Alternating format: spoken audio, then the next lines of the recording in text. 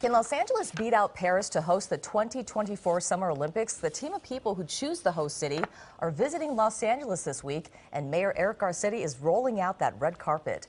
International Olympic Committee officials are evaluating whether the city is the best choice. Okay, KCAL9's Tom Waite is live downtown. So, Tom, how do you think the city did going forward? Well, Jeff and Susie, I think things went pretty well, or at least the mayor, I think, felt very optimistic after this tour was done. We got a few days here to see how things shape up, but certainly they're putting the city's best foot forward, hoping the Olympics come here in 2024. At LA Live, the stage is set. It's hard not to find someone excited about the prospect of the Olympic Games coming to town. I believe LA is like the hub of all of the sports, and I think it just brings a lot of the different cultures and diversity that the city already has. The city and suburbs also already have infrastructure, and today the mayor began a three-day tour with the 14-member International Olympic Committee, taking them to venues seen here in these renderings. Among the stops, the Rose Bowl, Olympic venue sites in Long Beach, and the StubHub Center in Carson. Mayor Garcetti appeared confident he had done a good job selling the city on being secure and on one of the most critical issues, transportation. On transportation, we shared our excitement about what Los Angeles is undergoing, which is nothing short of a transportation revolution.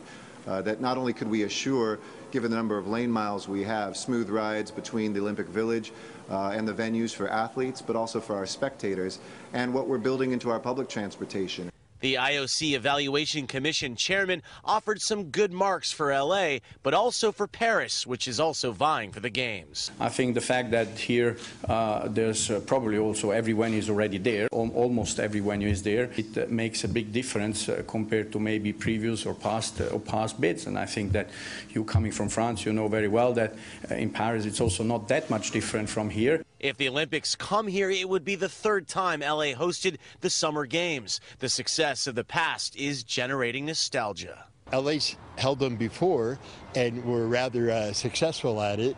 Uh, I think it's a great place to highlight Southern California and just give us a good time. Yeah, it's hard to find someone out here that doesn't want the Olympics to come.